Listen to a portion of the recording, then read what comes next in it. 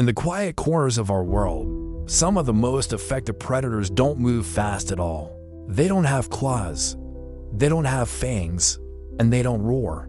Instead, they wait patiently, silently, for their next meal to come to them.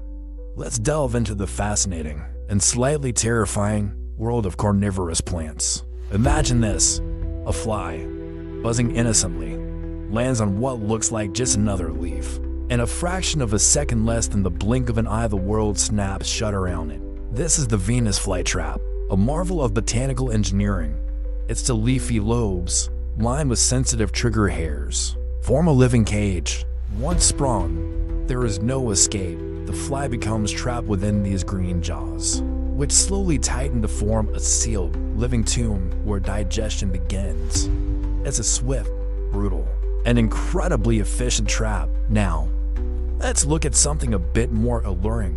Nearby, another plant glistens under the light, its leaves covered in what looks like morning dew.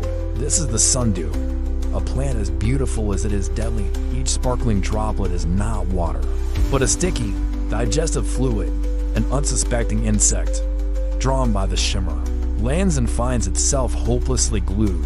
The more it struggles, the more it becomes entangled in the lethal mucilage. The plant's tentacles then slowly curl inward, enveloping the victim. The struggle slows, and eventually, it stops. The sundew has claimed its prize, absorbing its nutrients right where it stands. Let's venture deeper into the humid depths of the rainforest. Here, we find the pitcher plant, a master of deception. These plants have evolved their leaves into deep, vase-like structures.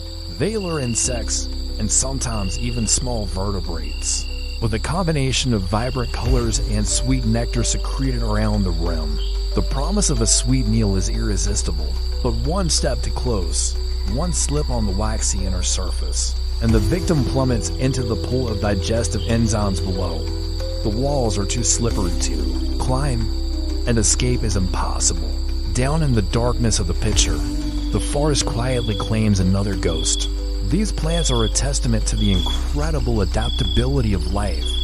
They don't roar, they don't chase, they simply exist, perfectly designed for their environment in the stillness of the undergrowth. Where life and death dance in silence, they are some of the most masterful hunters on the planet. Thanks for joining us on this journey into the world of these amazing botanical predators. If you found this as fascinating as we did, do forget to hit the like button and subscribe for more deep dives into the wonders of the natural world.